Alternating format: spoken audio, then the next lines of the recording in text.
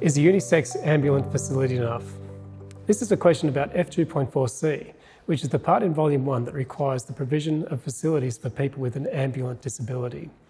Not to be confused with a wheelchair accessible facility, this is a facility for people who don't use a wheelchair yet have a disability, like an amputation, that means it helps to have a sanitary facility provided with handrails.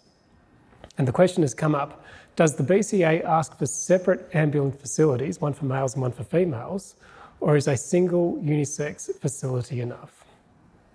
To find the answer to this question, we need to go to the deemed satisfied provisions, and here is F2.4 in part. And as you can see by the title of this provision, F2.4 is the provision that stipulates the minimum sanitary facilities for people with a disability. In F2.4, you've got A, here, which just requires the unisex wheelchair accessible facility. More about that in table F2.4a. Now that's a unisex facility as stipulated there in A, which males and females can use. You've also got B, the unisex accessible shower. There's more about that in table F2.4b. But in residential buildings and where you need to have showers for able-bodied people, like say the sporting venue, then the accessible sanitary compartment will also have a shower. And we've also got C, the facility for a person with an ambulant disability. Now notice how this one is different.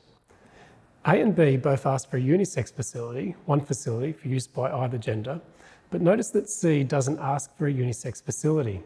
C is saying, where you've got a bank of toilets and at that bank there's an accessible unisex facility besides any other toilet, then that's the trigger for the provision of an ambulant facility and it clarifies that facilities needs to be available to both males and females.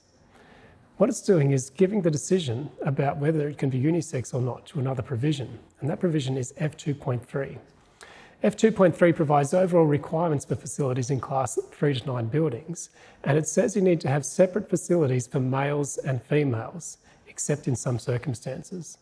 Those circumstances include F2.4a for unisex accessible facilities, which we just covered. There's also F2.4b for when you put a shower in that facility. We've also just covered that. Notice that F2.4c is not listed. It remains that, therefore, there has to be separate facilities for males and females, so a single unisex ambulant facility isn't enough.